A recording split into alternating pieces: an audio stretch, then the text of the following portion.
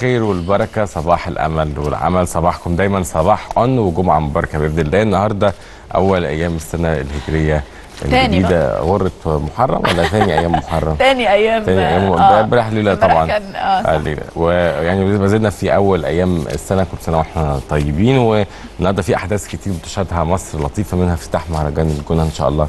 هنكون آه. برضو معاكم هنقول لكم بعض الأخبار آه عنه. وكمان حلقتنا هيكون فيها فقرة عن التلفزيون ومش هنقول لكم إيه التلفزيون ده لما نروح الفقرة آه. الثانية تعرفوا معانا غلط في الأول وبعدين اكتشفنا إن هي كده يعني اكتشفوا إن هي هتبقى حاجة آه. برضه لطيفة على فيسبوك وكده وهيكون معانا كمان فقرة عن زيارة آه، آه، وفد برلماني كان لأستراليا كمان أنا أصبح الأول. عليك يا حسام. صباح الفل عليك. وصباح الفل عليكم مشاهدينا الكرام ويا فتاح يا عليم يا رزاق يا كريم صباحنا وصباح الملك لله. جمعة مباركة إن شاء الله. النهارده طبعا 2 محرم 1439 هجريا.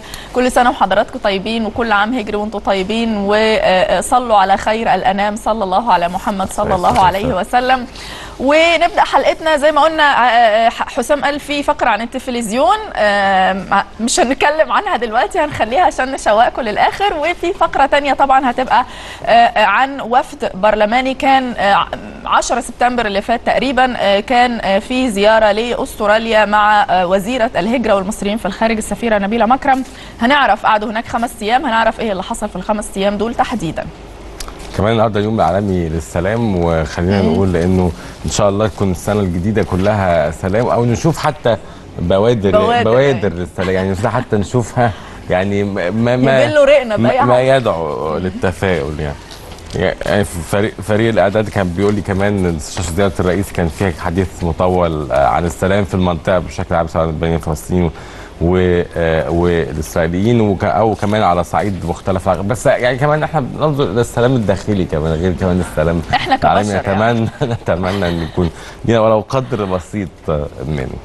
نبدأ النهارده آه. معاكم كمان بما إن إحنا في بدايات العام الدراسي أيضا محافظ الجيزة كمال الدالي آه، آه، افتتح معرض الادوات المدرسية اللي بتنظمه غرفة الجيزة التجارية ومعمول المعرض ده في فيصل هيستمر حتى نهايه نهاية شهر آه، سبتمبر وهتشارك فيه 30 شركة متخصصة في الأدوات المدرسية وفي الزي المدرسي والأجهزة والإكسسوارات المتعلقة آه، أيضا بالمدارس. خلينا نقول كمان إنه الأهم يعني الجزء الأهم إنه في تخفيضات متوقعة ما بين 15 ل 25% خلونا نشوف ونتابع مع حضراتكم قام اللواء كمال الدالي محافظ الجيزة بافتتاح معرضا للمستلزمات المدرسية وذلك بشارع الملك فيصل. المعرض مقام بدعم من وزارة التنمية المحلية والتجارة والصناعة والتموين وذلك لتوفير مستلزمات المدارس بأسعار مناسبة للمواطنين. معرض الادوات المدرسية والملابس والشنط المدرسية أيضا. آه، مشترك فيه مجموعة إحنا كنا بنهدف إن يبقى مجموعة أكتر سواء مصانع أو مكتبات. لكن طبعا للأسف طبعا انتشار المعارض والإمكانيات بتاع المكتبات الكبيرة العمالة اللي فيها مش هتغطي كل الاحتياجات بتاع المحافظات. فبالتالي اللي قدرنا نجمعه أيام قبل الدراسة اللي هو العدد اللي حضرتك شايفينه قدامكم هو الغرفة التجارية اعتادت في جميع المناسبات سواء كانت في الأعياد أو في افتتاح المدارس بعمل معارض مخفضة الأسعار للمواطنين. الغرفة بتتكلف تكلفة المعرض أو بتدفع تكلفة المعرض بالكامل في مقابل الم- المشترك أو العارض يخفض نسبة من المبيعات بتاعته أو الأسعار بتاعته تتراوح من آه، 15 ل 25%. لاقى المعرض إقبالا من المواطنين نظرا لتوافر المستلزمات المدرسية بخصومات تتراوح ما بين 20% و 25% أنا بشتري حاجات لحفيدي مش لاولادي والأسعار هنا أرخص من بره بكتير جدا وفعلا موفرين كل شيء حتى للسيدات وللرجال والخدمات للكبار مش الصغيرين بس يعني صغيرين وكبار. أسعار بره غالية يعني في أي حتة تانية هتلاقيها أغلى من هنا هي معقولة مش هنقدر نقول هنا رخيصة. معقوله يعني ممكن تلاقي الفرق الفرق مثلا جنيه جنيه ونص. وده كويس في حد ذاته بالنسبة للناس لأن هاخد مجموعة مش هاخد حاجة واحدة. يهدف المعرض لتخفيف العبء عن المواطنين وتقديم المستلزمات الدراسية للطلاب بأسعار مخفضة قبل بدء العام الدراسي 2017-2018 أحمد سامح أون لايف كل سنة وأنتم طيبين طبعا خلاص المفروض الأسبوع الجاي بقى الكثافة المرورية بقى على حقيقتها آه، آه، ما ما هو السبت اللي هو الأسبوع الجاي طيب آه، بس في المقابل بالليل بيبقى أخف آه، بالليل آه؟ بيبقى آه. بيبقى أخف طبعا بتبقى كل الزحمة متجهه. للمدارس الصبح والجامعات و- والموظفين بس بالليل بيبقى أخف شوية. يعني- يعني, برضو آه يعني ودي ميزة. بالنسبة لي على الأقل أنا شخص ليلي بطبعي. طيب هنروح نشوف فيديو كده بصراحة فيديو جميل جدا لحد آه، يعني آه، آه، فعلا يعني فيديو بيجسد الوحدة الوطنية وإنها يعني يعني مش مستاهله إن إحنا نتكلم فيها. يعني شخص هو مسلم وعايش في الكنيسة يدن ال- ال- الأذان في الجامع يروح يصلي آه، يعمل آه، آه، الصلبان وكل ما يخص إخواتنا الأقباط. تعالوا نشوف حياته سريعا كده هو عايش إزاي وعايز يقول لنا إيه في الفيديو ده. عمرنا ما حسينا بالفرق بين مسلم ومسيحي أنا راجل مسلم. إيه؟ محمد شوقي البسيوني المحل الكبير رحت جميع الديره يخطر على بالك اسم رحتوش أول في الدين لغاية دير المحرق لغاية الأقصر والرزاقات أقول لك إيه؟ أقول لك دميانة ولا أقول لك إيه؟ ولا أقول لك إيه؟ ولا إيه؟ عمري ما حسيت إن في واحد مسلم وواحد مسيحي الا من 2013 تحديدا إشمعنى؟ بدأت الفتنة بدأت الحرب. ده مسلم لا ده مسيحي. لا سلم عليه لا ما تسلمش عليه لا عايد عليه لا ما تعيدش عليه. مين قال الكلام ده؟ هتلاقي اي دين اي حديث عن الرسول صلى الله عليه وسلم. يقول الكلام ده. صح الكلام ده ولا لا؟ لا طب ما أنا عايش في وسطهم اهو الانبا بشوي أجيب لك صور أنا وهو. آه، آه، أبونا ابانوب اللي كان ماسك سنه من سبعينات في دير دميانه أجيب لك صور ليا أنا وهو وأبويا. هنا بتشوف مسلمين كتير بيروحوا الاحتفالات آه. القبطية و... آه. وأكتر رزقات الأقصر دميانة. أقول لك 60% مش هقول لك بقى لا 60% مسلمين بينزلوا الدير. ماليش دعوة بقى بالإخوة المسيحيين. الإخوة المسيحيين ده طقوسهم وبالرغم انه في منطقه ريفيه ده الماسك في قلب محافظة الدهلية برضك يعتبر قلب محافظه آه، أبانوب. أنا ساكن في سوق القدس أبانوب. ده في سمنود في سوق السمك عايز تعرف إيه ولا إيه ولا إيه؟ ما أعرفش. اللي أنت تسألني. زي كده؟ آه. زي كده؟ ولا زي كده؟ أجيب لك إيه؟ العذراء الحسينه العذراء في الزهور سيد المسيح العذراء الملكة الأم. ماري جرجس مرمينه دي صورة اسمها العذراء الحزينه دي لما السيد المسيح صلبوه. شوف عنده واحدة في عندي حاجة مثلا هجيب لك حاجة تانية. ده البابا شنودة. البابا شنودة. ده لما حلم بالسيد المسيح. يلا يلا ماري جرجس منى ارينا أنا كمسلم حافظهم واحدة واحدة مش هقول لك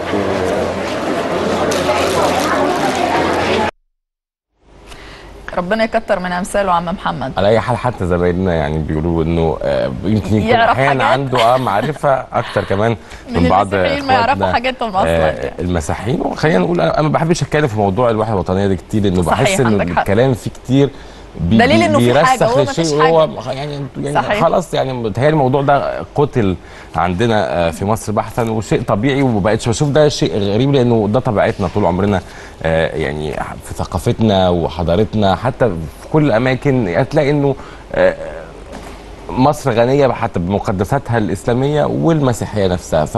وهتلاقي حتى إحنا من الشعوب القليلة اللي دخلت الثقافة الإسلامية على المسيحية هتلاقي الطراز في بعض الكنائس متأثر بالطابع الإسلامي. ف... وهتلاقي برضو آه، العكس ده يعني نسيج واحد زي ما بيقول من آه، منذ أمد أو فجر التاريخ يعني.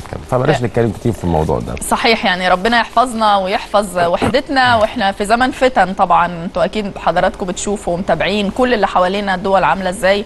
إحنا الحمد لله آم، أحسن من غيرنا بكتير بكتير قوي. وربنا يحافظ علينا وعلينا زي ما إحنا كده.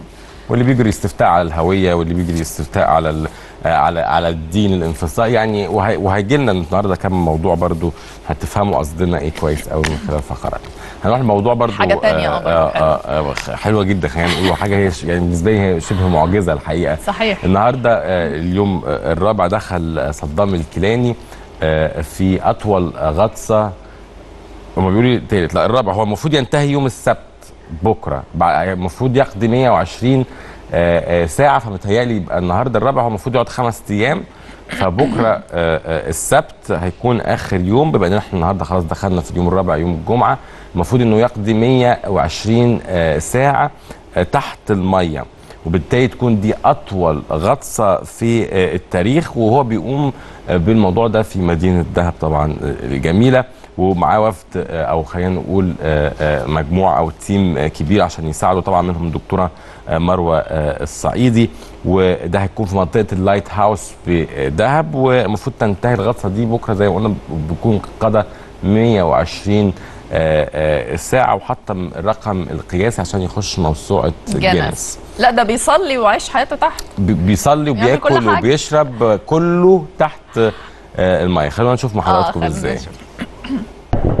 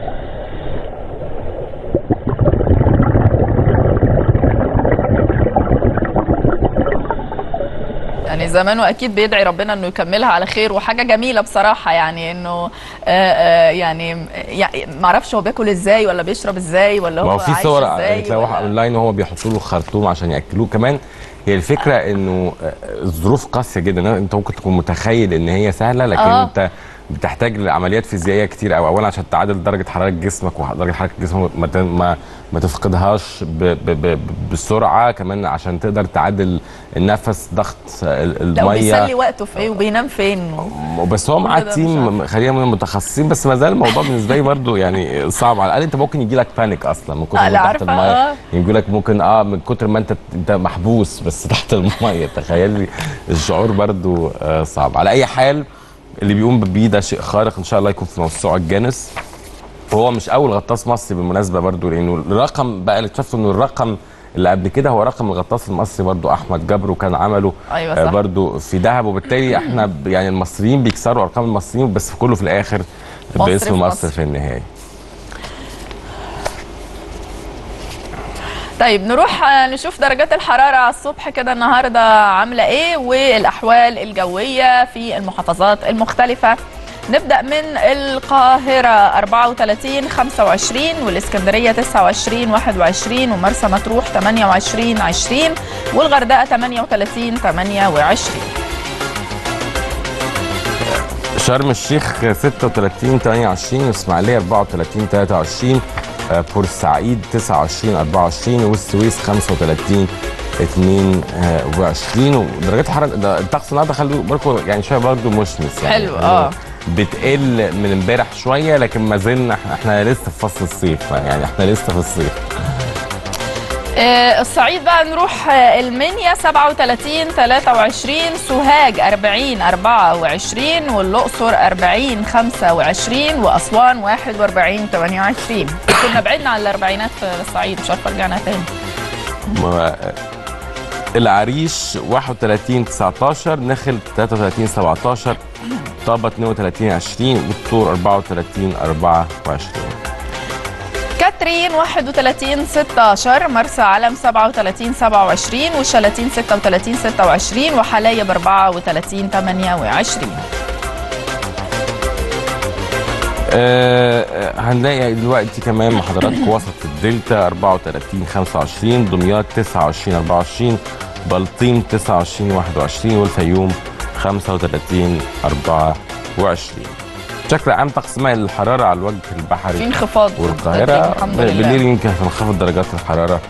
شوية الشتاء. يدخل بقى عايزينه يدخل ناس كتير مسافرة برضه عشان يلحق.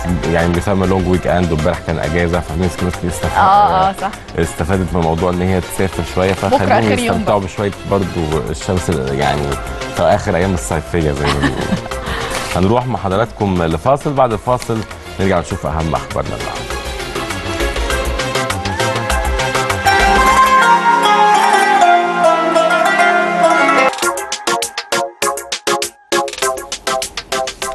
أهلا بحضراتكم مرة تانية يمكن على مدار الأيام الماضية كنا بنتابع معاكم زيارة الرئيس عبد الفتاح السيسي إلى نيويورك على هامش أعمال الجمعية العامة آه، للأمم المتحدة في دورتها ال 72 امبارح أو النهارده بيوصل إلى مطار القاهرة الدولي الرئيس عبد الفتاح السيسي بعد زيارة استغرقت خمس أيام شارك خلالها في أعمال الجمعية العامة للأمم المتحدة وكان طبعا زي ما عرضنا لحضراتكم عرض أو قام على هامش الزيارة بالمشاركة في عدد من الاجتماعات واللقاءات المهمة سواء داخل اروقه الأمم المتحدة أو لقاءاته البينيه مع عدد من قادة وزعماء العالم في إطار السعي المصري طبعا لتدعيم العلاقات المشتركة وأيضا الدفع بالعلاقات السياسية والاقتصادية مع مختلف بلدان وتكتلات العالم. وأيضا كان شق آه، متعلق أيضا بالجانب الاقتصادي والمشروعات القومية وجذب المستثمرين.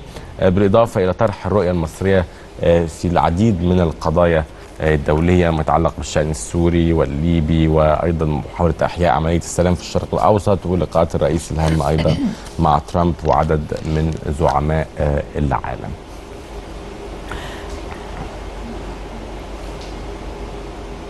كمان امبارح على العصر كده كان الرئيس عبد الفتاح السيسي استقبل آه، آه، جيم أو جيم يونغ كيم ده رئيس البنك الدولي كان في مقر إقامته في نيويورك هناك. وقال السفير علاء يوسف المتحدث الرسمي باسم رئاسة الجمهورية أن الرئيس رحب باللقاء مجددا مع رئيس البنك الدولي.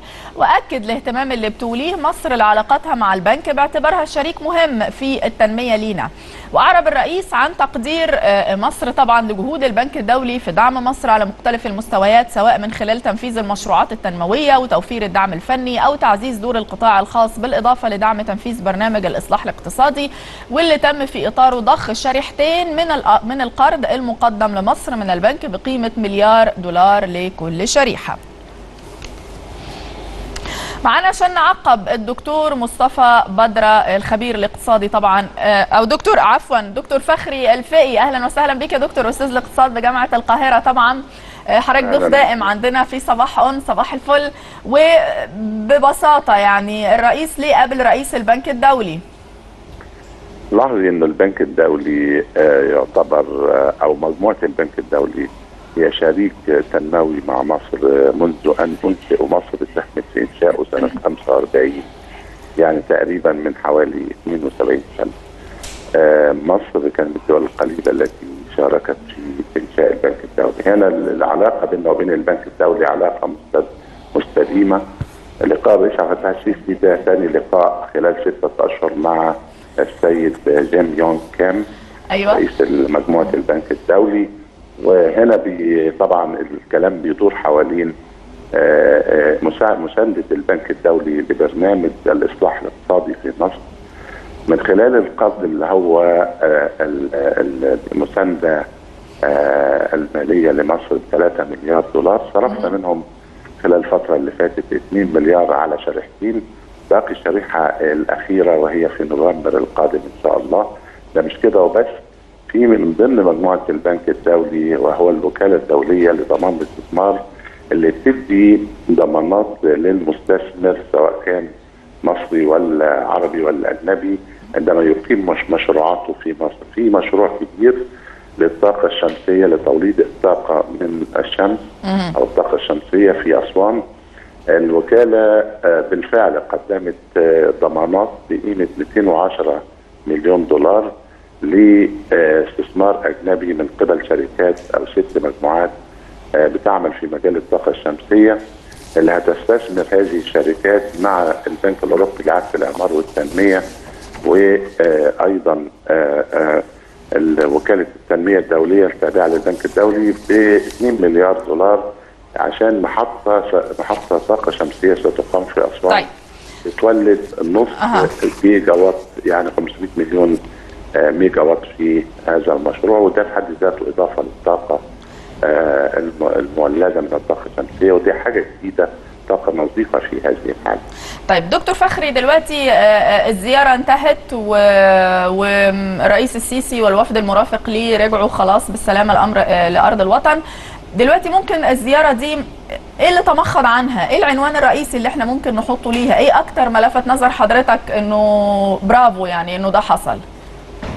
بتتكلمي عن الزيارة ككل أها لقاءات الرئيس هو نجاح باهر في أنه الرئيس عبد الفتاح السيسي آه، يعني عمل آه، يعني لقاءات تساند مصر في استقرارها ال- الأمني والسياسي بأنه مصر تقوم بمحاربة الإرهاب آه، يعني في المنطقة ككل لم يكن في العالم وأنه كل من يدعم الإرهاب ويمول ويحتضن الإرهاب طبعا هناك اتفاقيات تمت خلال هذه اللقاءات.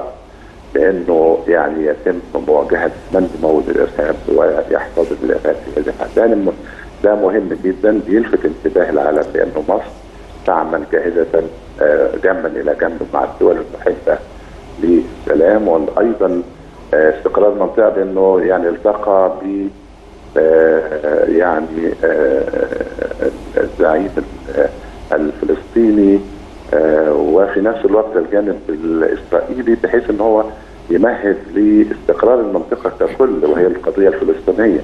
إلى جانب آه، يعني محاربه الإرهاب. حاجة ال- وهي إن مصر تشهد تحولا اقتصاديا مش مجرد إصلاح اقتصادي. ده تحول اقتصادي بيتم في مصر على كافة المستويات سواء بنيه اساسيه سواء كان في الجانب التشريعي سواء كان في الجانب المؤسسي سواء كان في سلوكيات حتى يعني نتيجة السياسة الاقتصادية في الإصلاح الاقتصادي إحنا سلوكياتنا آه، هنا في مصر كشعب مصر بنحاول نتحول السلوك الاستهلاكي نفسه والادخاري والاستثماري والشمول المالي. آه، عملية عملية تحول اقتصادي آه، حقيقي فعلا يعني. بس ده هيكون جهد مش هيكون مجرد برنامج ثلاث سنين وبس لا هيبقى نعم. شعب مصر ايد في ايد مع الحكومة الحالية والحكومات القادمة. مع الرئيس السيسي بأنه لابد أن يستمر هذا الجهد الإصلاحي من أجل المواطن المصري نحسن مستوى معيشته ونقلل الفقر ونسب الفقر الموجوده في مصر في هذه الحالة. بشكرك شكرا جزيلا دكتور فخري الفي أستاذ الاقتصاد بجامعة القاهرة. شكرا ليك. هنروح مع حضراتكم يمكن آه، لخبر آه، بطابع دولي شوية. آه، الرئيس الأمريكي دونالد ترامب قال امبارح إن الولايات المتحدة ستفرض مزيدا من العقوبات على كوريا الشمالية وتصاعدت طبعا حده التوتر في الأسابيع القليلة الماضية. أكيد حضراتكم طبعا سمعتوا أزمة الصواريخ وبسبب آه، برنامج بيونج يانج آه، النووي وأيضا الصواريخ البالستية اللي أطلقت في أكثر من اتجاه منها ما عبر أيضا اليابان وأصبحت تشكل تهديد حتى للوصول إلى الولايات المتحدة الأمريكية. وابتلتها أيضا بعض الخطوات منها إلقاء القنبلة الهيدروجينية آه، في كوريا الشمالية وغيره. طبعا لغة التهديد والوعيد كانت متبادلة ما بين الجانبين. ترامب آه، كمان آه، قال آه، أو رد على السؤال خلال اجتماعه مع الرئيس الأفغاني أشرف عبد الغني قال سنفرض مزيدا من العقوبات على كوريا الشمالية. وكمان ده بتاتي بعد تصريحات ليه قال خلال أيضا تواجده في عمل الدورة 72 من أعمال الجمعيه العامه للأمم المتحدة إنه لو كوريا الشمالية شكلت تهديد فسندمر كوريا الشمالية بالكامل. والتاني طبعا زعيم كوريا الشمالية رد عليه بوصفه بالمجنون وبيستمر التراشق ما بين الجانبين لكنه أحيانا تراشق قد يبدو مخيف صح يعني صحيح. حينما تتراشقي بالكلام ووراك قوة نووية الاثنين وقنابل قريبين من بعض على فكرة يا- يعني الشخصيتين قريبين من بعض يبدو هذا والاثنين بيصفوا بعض بالجنون. والاثنين بيصفوا بعض بالجنون صحيح وقد يكون في الآخر إحنا اللي سندفع ثمن هذا الجنان. خلينا نقول لو لو. جاز التعبير السفيرة مشيرة خطاب مرشحة مصر لمنصب المدير العام لمنظمة اليونسكو أكدت أنها تقوم بحملة مكثفة في في مختلف دول العالم عشان تحشد التأييد الدولي لانتخابها في منصب المدير العام لمنظمة اليونسكو. وقالت السفيرة مشيرة خطاب في تصريح خاص لوكالة أنباء الشرق الأوسط أنها بتعتز بثقة الدول الإفريقية والعديد من دول العالم اللي أكدت حرصها على مساندتها وانتخابها في هذا المنصب الثقافي الرفيع طبعا. وأضافت السفيره خطاب إنها بتشعر بأنها بتدافع عن حق مصر في تولي هذا المنصب نظرا لأنه لم يسبق لأي دولة عربية الفوز به. إلى جانب استحقاق مصر عن جداره للفوز بالمنصب نظرا لرصيدها الحضاري آه، آه، المستند لآلاف آه، أو الممتد الأعوام. وك- وأيضا لمكانتها السياسية والاقتصادية والثقافية والتعليمية البارزة في المنطقتين العربية والإفريقية. وكذلك تبوؤها مكانة بارزة في الأدب والفنون الجميلة والسينما والمسرح ربنا يعني إن شاء الله ربنا يوفقها ونكون لنا نصيب لأن فعلا هيبقى أول نتمنى. مصرية وأول عربية وأول كل حاجة نتمنى بس نبقى فاهمين طبعا هتجرى في أكتوبر القادم ده خلاص. المعركة ليست سهلة على الإطلاق والمشكلة إنه التصويت بيبقى سري فاللي بيتخاف منه إنه هناك البعض اللي بيعلن التأييد ليكي لكن في, في الجلسة. التصويت بيبقى هناك مع خلينا فاروق بالظبط حسني مع. فاروق حسني وبوكوفا لكنه آه.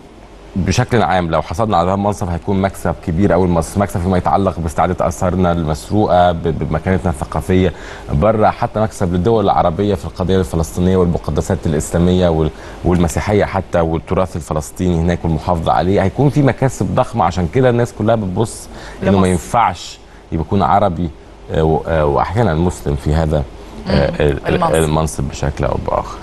نروح بقى الخبر الثاني أيضا ليه علاقة شوية بال بالاحتدام الدولي أو بالسياسة الدولية آه، مصر قالت في بيان صادر أيضا عن وزارة الخارجية أمس أعربت فيه عن قلقها البالغ إزاء قرار تنظيم استفتاء تقرير مصير إقليم كردستان العراق والمقرر بأنه سينعقد في الخامس والعشرين من شهر سبتمبر يعني بعد كم يوم وأعربت عن قلقها من تداعياته المحتملة. البيان كمان أكد أنه قلق مصر نابع بالأساس من حرصها على وحدة واستقرار العراق الشقيق واستمرار رابطة الأخوة واللحمة التي تجمع كافة أطياف الشعب العراقي آه، وشدد البيان على ضرورة إدراك التداعيات بعيدة المدى المتعلقة بإجراء استفتاء على استقرار وأمن العراق ومنطقة الشرق الأوسط. كمان أشار البيان لضرورة تفعيل الآليات التي تسمح بمزيد من الحوار بين الحكومة المركزية في بغداد وأقليم كردستان بشأن القضايا الخلافية للوصول لتوافق بشأن آه، أيضا هذه القضايا المعلقة لكنه في النهاية الهدف سيكون المحافظة على وحدة واستقرار والدور الإقليمي والدولي للعراق. هنفهم شوية ليه بيحصل أصلا استفتاء آه، في كردستان العراق دلوقتي؟ طب ده هيزينا إحنا في إيه؟ وهيضر المنطقة في إيه؟ خلينا نفهم أكتر من سياده السفير حسين هريدي مساعد وزير الخارجية الأسبق. صباح الخير سياده السفير. صباح الخير يا فندم. ازي حضرتك يا فندم؟ الحمد لله يا فندم طيب أروح مع حضرتك لاستفتاء كردستان. أنا ممكن أكون كمواطن مصري مش متابع قوي آه، الملف الكردي وتشابكاته في المنطقة خاصة إنه ليه تفرعات كتير مع إيران مع تركيا مع سوريا. آه، الاستفتاء ده ليه بيجرى دلوقتي تحديدا في العراق؟ وتداعياته إيه عليا أنا كمواطن عربي؟ بداية إنه قرار كردستان العراق إجراء آه، الاستفتاء على الاستقلال آه، يوم 25 سبتمبر الجاري ده نتيجة من النتائج آه، اللي ترتبت على نتيجة مباشرة من النتائج التي ترتبت على الغزو الأمريكي أمريكي طبعا. الإنجليزي. آه، الأنجلو أمريكي للعراق في 2003 وكان آه، ال- ال- القضية ما كانتش أو المسألة ما كانتش هل هيتم آه، أخذ كردستان العراق إلى طريق الاستقلال أم لا؟ كان السؤال آه، المتداول هو إمتى آه، آه، آه، الأفراد بالعراق هيقرروا هذا آه، بعد العمليات العسكرية اللي استهدفت آه، جماعة داعش الإرهابية ودور البشمركة ال- لكردستان العراق في هذه العمليات وإسهامهم في نجاح آه، القضاء على داعش في مدينة الموصل. آه، في كل دوت عوامل أدت إلى إن إحنا نصل آه، إلى إنه البرلمان الكردستاني العراقي اتخذ قرارا بإجراء هذا الاستفتاء. هل هل الأفراد العراق فعلا آه، يدركون مخاطر الاستقلال آه، وإقامة دولة كردية في شمال العراق أم لا؟ آه، نعم يدركون هذا الأرجح ان هم يريدون استغلال هذا الموضوع للحصول على مكاسب أكبر من الحكومة المركزية في بغداد. كما تعلم حضرتك ان في مادة في الدستور العراقي اللي هي المادة 140 اللي, اللي بتشير إلى يبقى في اتفاق بين الحكومة المركزية آه، حول مع الحكومة المركزية حول المناطق المتنازع عليها. أو فالأكراد العراق يقولون أو يدعون أن كركوك مدينة كركوك في الشمال طبعا. آه، خاصة تبعهم. القضية هنا بقى مش قضية كردستان العراق القضية هنا قضية نفط. لأن كما تعلم حضرتك أنه آه، منطقة غرقوك كركوك فيها آه، فيها نفط كتير. المسألة الثانية اللي هم بي بي بيستخدموا ورقة الاستفتاء كورقة للمساومة والتفاوض مع الحكومة المركزية في بغداد هو تقاسم تقاسم عوائد بيع النفط بيع النفط. ال- العراقي لأن الحكومة كمان المركزية يعني حجبت بعض المخصصات كمان على الجانب الكردستاني. نتيجة النزاع ده آه. تمام. النسب آه، لم يتم آه، استيفاء النسب المتفق عليها. طبعا للظروف الاقتصادية الحادة اللي بتمر فيها العراق ونظرا للنفقات الهائلة لتحرير الموصل وكافة المحافظات العراقية من الجماعات الإرهابية. طب النهارده النهارده البرزاني مسعود برزاني آه، مسعود برزاني رئيس اقليم كردستان العراق منذ آه، بضعة أيام ونتيجة لاتصالات آه، أمريكية مكثفة معه آه، ونتيجة لضغوط بعض القوى الغربية عليه.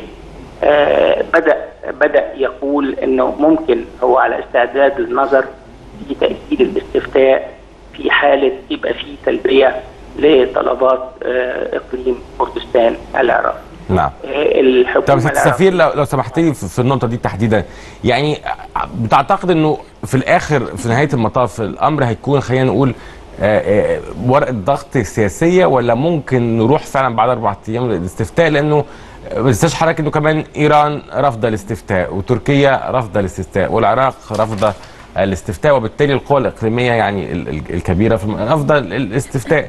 فهل من الممكن رغم كل الرفض ده والرفض العربي وفي مقدمته مصر طبعا إن هم يروحوا الاستفتاء ولا بتستبعد حصول ده على أرض الواقع؟ في في احتمال آه، في احتمال لتأجيل آه، القضية مش القضية هل فكرة استقلال كردستان العراق هيتم القضاء عليها نهائيا أم لا؟ إذا لم يتم القضاء على فكرة استقلال كردستان العراق العراق وإنشاء دولة كردية آه، يبقى مسألة مناقشة الاستفتاء آه، هيتم الاستفتاء أو هيتم الاستفتاء دوت تفاصيل فرعية. لكن ال- من وجهة نظر آه، عربية من وجهة نظر عربية هل هل التوجه التوجه آه، حركة التاريخ في المنطقة والتطورات اللي إحنا رصد اللي إحنا كلنا رصدناها منذ الغزو آه، الامريكي الانجلو امريكي للعراق في 2003 و- وافتح قوس هنا وأقول التأييد الإسرائيلي الرسمي. العلني لإنشاء دولة كردية في شمال العراق. والأمريكي برضه يا أستاذ السفير برضه مع يعني الامريكي الأمريكي بعد إذن وإن, وإن كان في الظاهر يعني. لا بعد إذن حضرتك آه. الأكبر أكبر الأطراف الدولية آه. المعارضة لإجراء الاستفتاء هي الولايات المتحدة الأمريكية آه، لكنه آه، أنا ما أقصده إنه يعني قد يكون ده الظاهر لكنه في ناحية أخرى ما كانوا بيدعموا الأكراد في شمال سوريا بشكل كبير وده اللي أثار حفيظة تركيا وأعلن أكثر من مرة إنه ربما يكون القوات الكردية والبشمركة هي ال- القوى الأصلح يعني تكون بديل لعملية التحرير في آه، سوريا وغيره. أنا قصدي يعني إنه الظاهر قد يكون شيء ما الولايات المتحدة رافضة بشكل رسمي لكن الباطن شيء آخر يعني. احتمال. آه. على أي حال أنا بشكرك شكرا جزيلا. سيادة السفير حس- حسين هريدي مساعد وزير الخليج الاسبق وخلينا نقول ملف كبير ده نحاول يمكن نشرحه لكم أكتر يعني حدث جلل طبعا ونخش فيه في تفاصيل أكتر لأنه الحقيقة هو ليه علاقة بينا إحنا كمان هو ليه علاقة طبعا. بكل كل المنطقة حاجة بشكل ليها علاقة بكل حاجة طبعا. لأنه يعني هي مش هتبقى البداية كردستان العراق هتبقى في دولة كردية في صحيح، في سوريا دولة صحيح. كردية في في تركيا. وموضوع تاريخي وطويل إن شاء الله نشرحه لكم مرة كده لو يلا. طيب كشف المهندس طارق أبيل وزير التجارة والصناعة أن الاستثمارات المبدئية اللي هتضخها شركة سنغافورة القابضة في مشروع إنشاء مدينة صناعية متكاملة بمنطقة كوم أوشيم بمحافظة الفيوم هتصل لمليار دولار. ولفت الوزير إنه, إنه بعد الانتهاء من دراسات الجدوى الخاصة بالمشروع هيتم تحديد حجم الاستثمارات في المنطقة المتكاملة دي. وقال قبيل كمان أن المدينة الجديدة المزمع إنشائها لن تكون مدينة ولكن هتكون مدينة متكاملة بها سكن للعاملين ومدارس ومستشفيات. معانا الأستاذ ياسر جابر المتحدث باسم وزارة الصناعة. أهلا بيك يا أستاذ ياسر. نفهم بقى إيه الفرق بين منطقة صناعية تقليدية ومدينة صناعية متكاملة. طبعا خير على الخير. وهو بالتأكيد في فرق كبير. إحنا هنا مش بنشتغل على منطقة صناعية عادية إحنا بنشتغل على إنشاء مدينة متكاملة بمعنى إنها هتضم عدد من المناطق الصناعية إلى جانب تجمع عمراني كبير. يعني إن نعم. إحنا النهارده هيبقى إلى جانب المصانع هيبقى في مستشفيات يعني زي إيه مثلا؟ لو تدينا مثال. ما أنا بقول لحضرتك يعني هيكون عندنا إلى جانب الم- المصانع اللي لسه هيتم تحديد نوعية الأنشطة بتاعتها إيه كمناطق صناعية داخل هذه المدينة هيكون في تجمعات عمرانية بمعنى هيبقى في مدارس ومستشفيات يعني تجمع عمراني هيقام لهذه المناطق الصناعية بحيث إنها تبقى مدينة متكامله هو الميزة في الموضوع إن إحنا جايبين أو بنستعين بفكره أكبر دولة بتشتغل أو آه، أفضل نموذج عالمي آه، بيتم آه، لإنشاء المدن الصناعية وهي سنغافورة. معنا شركة سنغافورة القابضه هيبقى في شركة هيتم تأسيسها من خلال هذا البروتوكول أو الاتفاق اللي تم توقيعه الشركة نعم. دي هتبقى بين شركة سنغافورة والهيئه العامة للتصنيع باعتبارها هي صاحبة الولاية على الأرض وإن شاء الله خلال سبع شهور هيتم الانتهاء من الدراسات التفصيلية اللي هتحدد لنا إيه هي طبيعة ال ال ال أنا الصناعات قصدي إنه أنا لما سألت زي إيه يعني هل فيها ليها مثيل هنا في مصر أو في لا، دبي لا. آه ما بلهاش يعني دي الأولى من نوعها دي الأولى من نوعها بهذه الطريقة. يعني آه. إحنا عندنا مدن صناعية بالتأكيد وانشات زي العاشر من رمضان والسادات وغيره في أوقات سابقة لكن آه ليس على هذا النمط. هذا النمط اللي إحنا بنشتغل بيه المرة دي هو على الطراز العالمي. بمعنى إن إحنا عندنا هدف إن إحنا نجذب شركات دولية وشركات عالمية إنها تيجي. عشان تيجي في المنطقة دي لازم إحنا نعملها بنفس الطريقة بتاعت اللي تقام في سنغافورة وبتقام في أمريكا وبتقام في أي دولة اشمعنى ثانية الفيوم أستاذ ياسر. كوم أوشيم. مظبوط هي على هي مساحة كبيرة جدا 33 مليون متر آه، في الف... في ال- في كوم أوشيم في الفيوم. طبعا هي هتخدم على المنطقة كلها. طبعا قربها من القاهرة هيجعلها أحد المناطق الجاذبة جدا جدا للاستثمارات سواء المحلية أو الأجنبية. أها. يعني آه، آه، هي سبب اختيار الفيوم هي آه، الأسباب اللي حضرتك قلتها دلوقتي. بالتأكيد يا فندم. أها. طيب نوعية الصناعات اللي ممكن تكون موجودة هناك يا أستاذ جابر هتبقى عاملة إزاي؟ يعني هو المهندس طارق قبيل لما سئل في هذا السؤال قال إن إحنا لسه بندرس إيه هي الميزات التنافسية اللي موجودة في المنطقة وده اللي هتبينه الدراسات التفصيلية. يعني إحنا كنا أعلنا قبل كده قلنا إن هي ممكن تبقى آه، في صناعات معينة ممكن تكون متواجدة زي المنسوجات زي الصناعات الدوائية دي لها فرص في المنطقة دي. لكن هننتظر حتى انتهاء الدراسات التفصيلية عشان نقدر نقول إحنا هنعمل كم منطقة صناعية. قد تكون ثلاثة أربعة خمسة ستة ده اللي هتبينه الدراسات التفصيلية وفي أنهي صناعات كمان اللي هي تعتمد على الميزة التنافسية للمنطقة نفسها.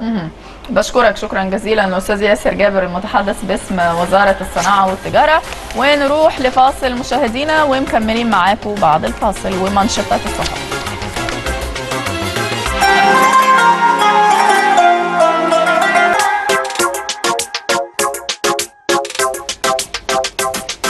أهلا بحضراتكم مرة تانية يمكن هنروح معاكم لأهم أخبار الصحافة والبداية من خبر الحقيقة. كلنا مشتاقين لعودة المهرجانات السينمائية في مصر لقوتها وأحضار جديد. في مكسب أيضا للسينما المصرية. اليوم انطلاق مهرجان الجونة السينمائي الأول في صفحة 14 أيضا في مصر اليوم. حديث عن هذا الحدث. وخلينا نقول إنه الدورة الأولى بتفتتح تحت شعار سينما من أجل الانسانيه وبمشاركة 40 فيلم و34 من 34 دولة. وفي مشاركة مصرية قوية من خلال فيلمين فيلم الشيخ جاكسون للمخرج عمرو سلامة وأيضا فوتوكوبي لتامر عشري وهيثم دبور. والشيخ جاكسون كمان لسه راجع من مهرجان تورنتو بعد ما حقق هناك كمان خلينا نقول تواجد مصري قوي. وأشادت بيه كمان أبرز الصحف العالمية منهم Hollywood Reporter. والفعاليات الممتدة لمهرجان الجونه السينمائي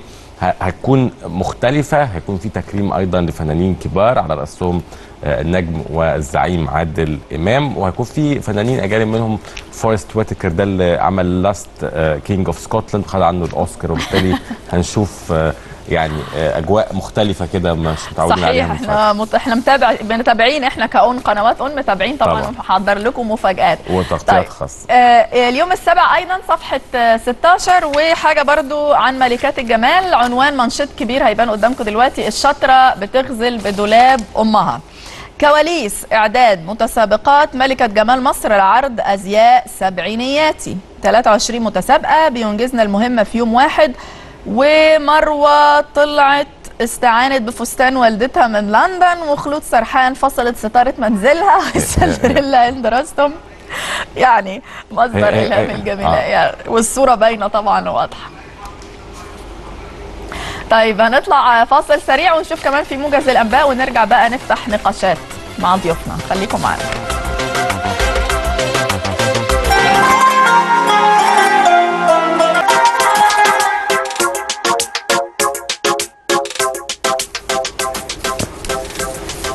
أهلا بيكم مرة ثانية والساعة الثانية والأخيرة من صباح أون. كانت الوجهة لأستراليا. ده كان يوم 8 سبتمبر. اختار الشهر ده طبعا. اختار مجموعة من كان وفد من البرلمان المصري مع سيادة الوزيرة نبيلة مكرم سيادة السفيرة نبيلة مكرم وزيرة الهجرة والمصريين في الخارج. قرروا ان هم يروحوا يعملوا رحلة أو سفرة إلى أستراليا عشان يقابلوا الجالية المصرية هناك عشان يقابلوا مجموعة من البرلمانيين الأستراليين هناك. واتكلموا بقى في كل حاجة. وكان البابا توادرس كمان معاهم وكان الحقيقة وفد ممثل يعني هو يعني مختار بعناية إنه يبقى في نماذج نماذج يعني مسلمة ونماذج قبطية عشان يوصلوا رسالة معينة. وهناك بقى قابلوا الجالية المصرية قابلوا شخصيات سياسية واتكلموا في كل حاجة. كل ما يخطر على بالكم أو ما يخطرش. هم كانوا خمس أيام قعدوا اتكلموا مع بعض عملوا لقاءات اتعشوا مع بعض كمان في بعض الأيام. اتكلموا بقى سياسة سياحة اقتصاد عشان نعرف إيه التفاصيل. معانا الدكتورة أنيسة حسونة كانت أحد طبعا أعضاء الوفد. ده عضو مجلس النواب طبعا. صباح الخير يا دكتور صباح النور. أهلا صباح الفل. صباح الخير منوره أنا هبدأ معاكي قبل ما نخش في تفاصيل الزياره وكده. لما قريت شوية عن الموضوع كده أعتقد إنه إحنا قدام ثقافة جديدة إنه يكون في سفيرة مع مجموعة من مجلس النواب مجموعة من الوفود الشعبية إن هي تروح تخاطب الجالية. يعني حضرتك ليكي باع طويل في العمل الاجتماعي كمان قبل حتى نيابة البرلمان. متهيألي ده جديد. يعني الشكل ده من التعامل مع جالياتنا متهيألي مختلف عن ذي قبل أكيد أكيد ولا؟ يعني؟ آه لا لا أنا مع حضرتك تماما. ده شكل جديد وأنا بالنسبة لي كانت تجربة آه جديدة تماما. بس عايزه أقول الخلفية بتاعت الموضوع علشان الناس تبقى عارفة. الخلفية بتاعت الموضوع إن السفيرة آه الوزيرة طبعا نبيلة مكرم كانت راحت قبل كده أستراليا مم. مرة. وقابلت ناس كتير جدا.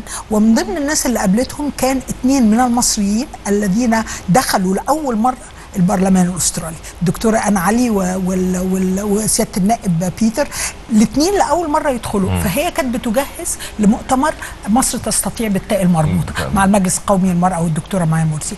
فكانت الدكتورة أنا علي من الناس اللي جم. وكلنا أخذنا انطباع جيد جدا في المؤتمر عن كلامها. وبعدين نظمت لها زيارة لمجلس النواب.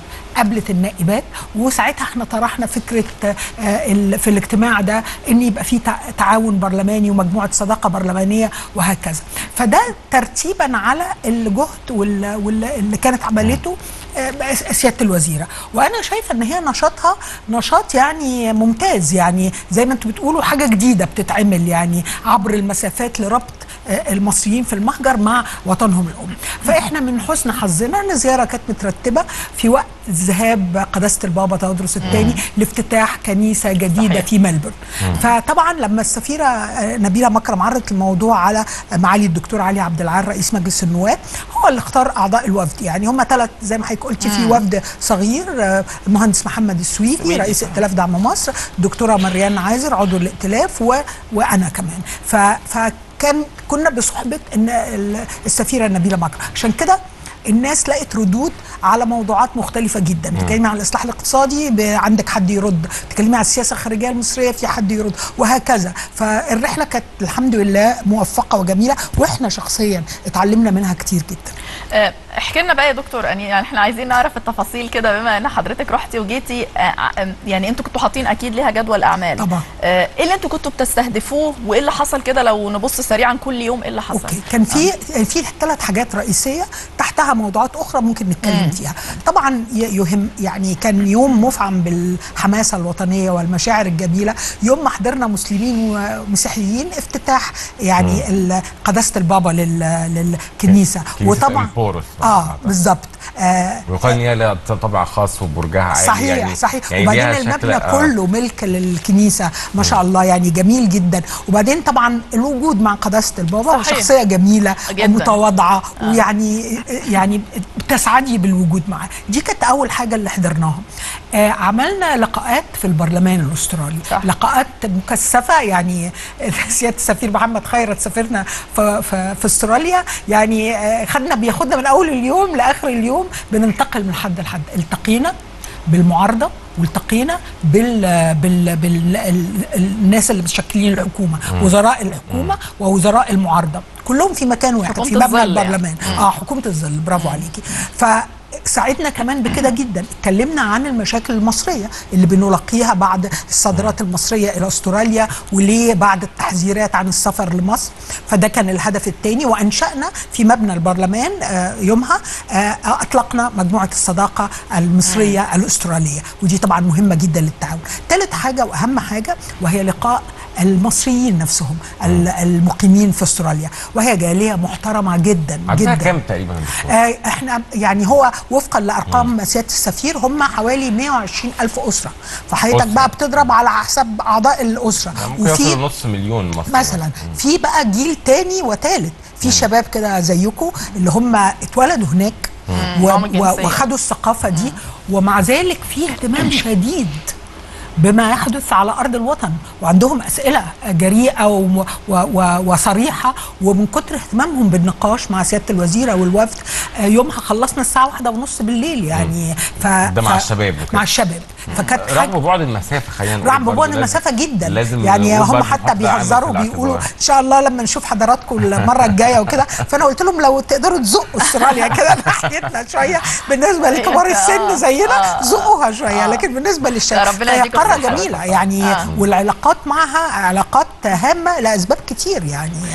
بس خليني أقول لحضرتك برضو يعني نعم. إحنا كمصريين بنفكر نقول يا أستراليا دي بعيدة قوي. صح. هي إيه نوعية العلاقات اللي تكون ما بيننا وبين استراليا؟ صح. وليه ممكن تكون القارة دي مثلا مفيدة لينا؟ آه. يعني لأنه أعتقد أنتوا أنشأتوا كمان نواة لحاجات جديدة منها صحيح. مثلا الغرفة التجارية. مجلس أعمال مصري آه، آه، أسترالي. يعني فانا سألت نفسي مثلا فتح عليك الفاظ وإحنا ما كانش عندنا ده أصلا. صح. ليه بقى حضرتك تفتكري؟ بص هقول لك اولا مم. استراليا لها أهمية في حاجات كتيرة جدا. اولا استراليا ناس كتير ما تعرفش إنها الاقتصاد رقم 11 على مستوى العالم. استراليا لها دور كبير بتلعبه في منظمات آسيا والباسيفيك اللي بتتعاون اقتصاديا.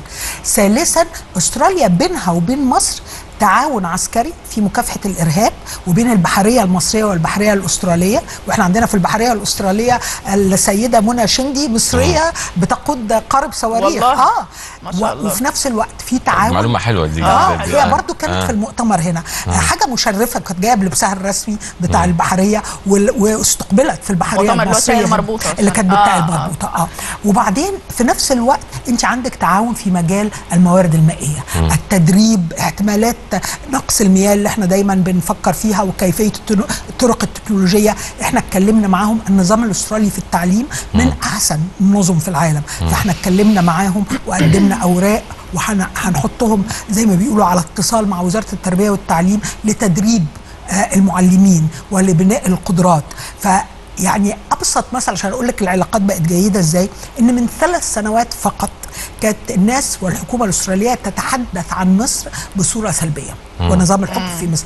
الآن الرئيس ال- المصري والرئيس الأسترالي اللي هو الحاكم العام اتفقا على زيارات على مستوى الرؤساء بشكل دوري وهو جاي يحضر احتفالية آه. يحضر احتفالية العالمين. فأستراليا لا يجب إغفالها. مش بس عشان عدد المصريين اللي فيها عشان أهميتها الاقتصادية عشان آه. يعني تعاونها معانا في مجالات هم متخصصين وقد فيها حضرتك حضرتك زي ما م- هي تقريبا المؤسسه أو دعت لتاسيس منظمة التعاون بين الاستو... آه في, في أيوة، في الباسيفيك، في- في الباسيفيك، منطقة آسيا. وهي آه. منظمة كبيرة اقتصادها طبعاً، طبعاً. آه ضخم جدا تسمى أبيك حتى يعني أيوة. ليها ثقل دولي إحنا بعيد عن المنطقة دي وحتى مم. لما نفكر في آسيا نقول الصين الهند اليابان. أنا ما شفتش قبل كده إن إن إحنا بصينا هذه النظرة الجادة إلى أستراليا. مع إن الترحيب اللي لقيناه من البحث هناك من الجالية قصدي هناك بالنسبة لهم يعني الناس جت المسافة دي كلها وللحكومة الأسترالية يعني لقاءاتنا مع الوزراء وأعضاء مجلس النواب ممتازة. وإحنا عندنا كتير نتعلمه من من التجربة بتاعتهم. طيب حضرتك لفتي النظر هنا لنقطتين وحضرتك بتتكلمي وانه كانوا آه، إحنا يعني رايحين آه، هدف من أهداف الزيارة دي تصحيح الصورة صح عايزة حضرتك تقولي لي هي ليه الصورة ما كانتش آه، صحيحة واصلة لهم هناك وثانيا السياحة إنه عودة آه، السياحه هي كانت طبعاً. مقطوعة من أستراليا يعني كان في في؟ حاجتين تصحيح الصورة دي من ثلاث سنين آه. آه. كانت الناس بتتكلم الكلام اللي أوروبا نفسها كانت بتتكلمه لأ. ده انقلاب ده ما أعرفش إيه إحنا لما قابلنا الناس الرسميين وهم مش مش هتجاملني على بعد طبعا. آلاف الأميال لأن أنا مش دولة مجاورة يعني الناس بتتكلم بمنتهى الاحترام عن الدور المصري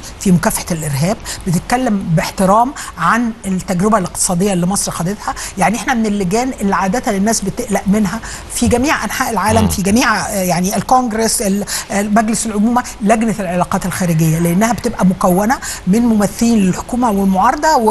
و... ويبقى دايما وجهات نظرهم يعني شوية آه، آه، آه، حادة يعني. إحنا س- استمعوا إلينا بمنتهى الاهتمام وإحنا بقى مستعدين للأسئلة. الأسئلة كلها تم الرد عليها بشكل ممتاز والناس كانت متحمسة. ليه؟ لسبب بسيط إحنا ما بنألفش. إحنا بنقول كان في كذا وحصل كذا. أرقامنا كانت كذا الأرقام بقت كذا.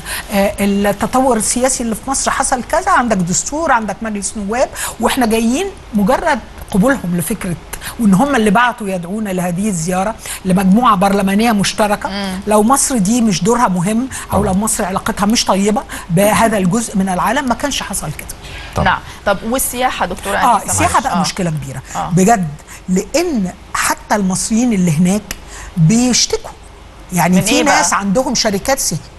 سياحة مؤسسة في مصر. آه. آه إحنا كان عندنا عدد سياح كويس قبل الثورة على طول. صحيح. والسائح آه يا فندم عدد السياح الأستراليين بيجي آه الأستراليين. و... وميزة الساحل السائح الأسترالي بدون ذكر دول أخرى يعني إنه سائح بيبقى مدة أطول لأن مم. حتى بحكم المسافة اللي بيجيها طبعاً. وبينفق وبينفق أكتر. يعني مش اللي جاي يقعد يومين ثلاثة طبعاً. وهخطف الدنيا واجي حد مديني أصل هو باكج جاي يوم في الطريق فأكيد آه، هيقعد حبة. لا وهم عايزة عايزة أقول لحضرتك حاجة. هم معجبين بالحضارة الفرعونية. يعني وإحنا بنتجول في البرلمان الجميل طبعا جدا آه، من ناحية. إن الناس بتدخل تحضر الجلسات والأطفال المدارس بيدخلوا. قابلنا أطفال مدرسة. فالنائبة المص... اللي من أصل مصري بتقول لهم do you know anything about Egypt? آه، عارفين أي حاجة عن. مصر. فلقيت الأطفال مبتسمين. وواحد فيهم سألني قال لي هو أنت عمرك شفتي الهرم ساكنة جنبه يعني؟ فقلت له لا يعني كلنا ساكنين جنبه يعني. ف- فبتتبسطي جدا وبتفخري. هل في عدد كان كم السياحة الأسترالية؟ يعني سريعا دكتورة أنيسة. بصي أعتقد إنها كانت مثلا فوق ال 200 ألف سنويا آه، حاجة زي 200,000. كده. ده قبل لكن. آه, آه،. اللي حصل بقى لما ما هو انت لما المصريين شك نفسهم يشتكوا يبقى في حاجة غلط. ال- الشكاوى بتبقى عن إيه؟ إن الناس بتفتح ال websites بتاعة المقاصد السياحية ما تلاقيش مثلا هي فات- فاتحة من كام لكام. آه. ما تقراش هي بتكلفها كام إن مع يعني بالغ أسفي إن أنا أقول كده أن الحمامات اللي موجودة في المقاصد آه، السياحية آه، لا آه. تليق إن حد يستعملها أن محاولات البعض استغلال السياح حتى لو هم مصريين يعني حاجات كلها بسيطة يا دكتورة أنيسة يعني مش, بالظبط. مش محتاجة فانا جهد يعني. أنا إن شاء الله يعني أتمنى هيكون لي جلسة مع السيد آه، وزير السياحة لأن طبعاً، دي حاجات وصلي له مش. عايزة بقى ميزانية. دي مية وصابون ونعتني بال website هنتوقف بس الفاصل دكتورة أنيسة. حضرتك لسه. مكملة معانا. دكتورة أنيسة حسونة عضو مجلس النواب. ونعرف منها بقى إيه ثقافة حكومة الظل وقابلوهم وقالوا لهم إيه لأن أنا عن نفسي عايزة أعرف. فاصل ونرجع نكمل مع حضراتكم. خليكم معانا.